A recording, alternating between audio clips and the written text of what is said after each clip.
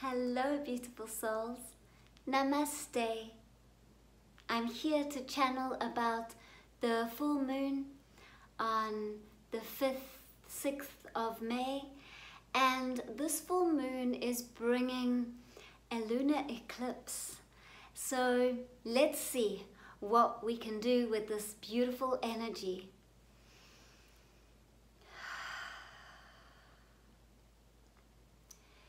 Endings and beginnings. Mm.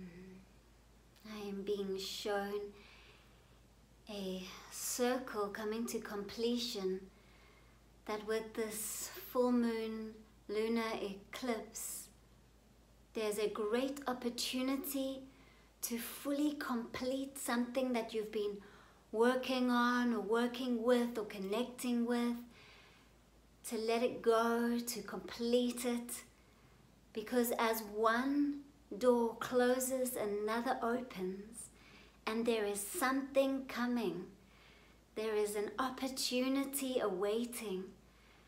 I am seeing infinite sparks of light coming in, meaning infinite opportunities, and it is giving me goosebumps.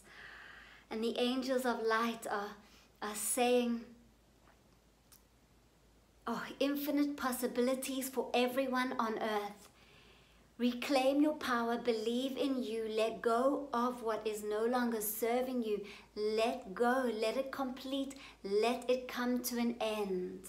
It might be an ending of a relationship or an ending of a, a, job that you've been doing or something you've been focusing on or moving to another area or another country, just something something ending, or it might be something smaller where it's something of a belief pattern or a habit that's been weighing you down and keeping you a bit stuck. And you can use the powerful energy of this full moon lunar eclipse to bring it to the moonlight send it into the portal and let it move out of your energy field. Let it be cleared and dissolve into the light, setting you free and making space for you to be in a receptive, open state to receive the divine opportunities that are awaiting you, the infinite opportunities. And the opportunities that you can access are dependent on the rate of vibration, your energy field, what do you believe in? Do you believe that you're worthy of absolute wonder, magnificence, and love and joy? Because if you do, you're going to magnetize it in. If you have any fear or doubts or disbelief, blockages in yourself, then bring these to the lunar eclipse and ask that the beautiful moonlight cleanse and clear and heal them so that you can start to believe in yourself more and believe in the creator that you are so that you can attract in and magnetize in the abundance, the joy, the love that you are here to draw in and that you are here to experience. This is a sacred, powerful time. So connect with this moon's energy. Let things come to an end. Let them go. Surrender them, release them so that you can open and make more space for all of the divine opportunities that are yours.